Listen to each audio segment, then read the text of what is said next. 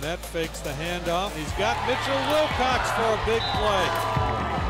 Well, as an offensive coordinator, I think one of the best things that you can do is, is there's two things. I think first you have to be unpredictable and try to stay one step ahead of the defensive coordinator. Now rolling out to the right, he's got a man wide open. He finds him stretching for the end zone, and he got there. And then I think the next thing is, is I tell everybody you got to scare the heck out of the defensive coordinator uh, on every snap. If we can do those two things, we'll be successful. What we're trying to do is really just attack all the all parts of the field.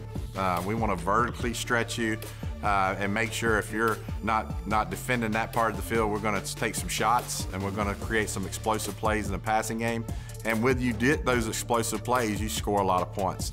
When you got a coach that's right by your side, when he know you can do great and he's helping you try to be great, you ain't got nothing but to be great.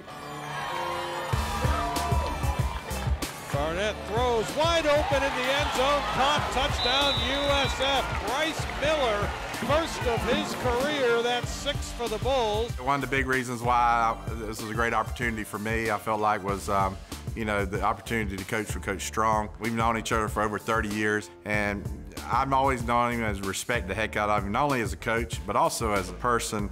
And um, when you go to work for people, you want to work for good people, and I knew that was the opportunity here with Coach Strong. Well, Kerwin and I go, uh, we go back a, a, number of years. He has a system, a system that he truly believes in, but a system that he has built by the number of coaches that he worked for. This is more about building confidence. And so when you have a system and the players believe in it, and they trust you and your system, and they start believing in the system, then the system has a chance to be successful.